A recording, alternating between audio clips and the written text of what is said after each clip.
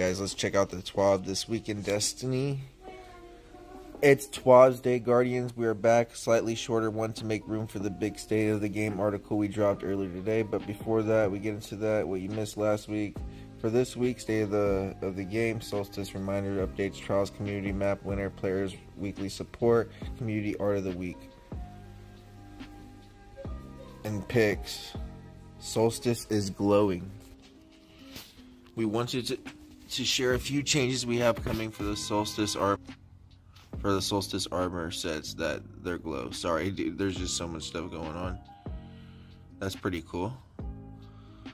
For 2022 and 2023, the sets players who have unlocked the glowing version of the armor piece will have access to non-glowing transmogs. Players who have not unlocked glowing versions will only have the non-glowing versions available to them. Players will need to individually purchase the transmog for both versions. They won't be unlocked with one purchase. Finally, the transmog will not have a new icons.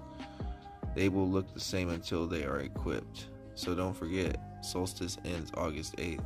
So be sure to get those bonfires lit and Silver Leaves turned in. Community Trials Map Blender. Cathedral Dust, Vostok. The, clear winner was Anomaly. Dang it.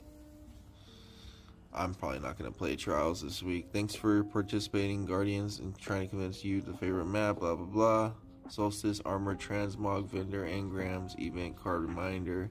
Known issues, you guys can look through that. Movie of the Week, Rick Roll, Access to the Solar System. Check that out if you guys need to. Guardian Games 2023 music video. Artist of the Week. Some, uh, some 8-bit stuff, or I don't know what this is. Pretty sick though. Ace of Spades, nice. There we have it, pals. This week's TWID, the final countdown before Destiny 2 showcase. But don't worry, we still have a few more weeks of information to send your way. For now, keep your eyes up to get those challenges wrapped up. Guardians, we'll talk soon. Stay crafty, Sam. Peace. Later.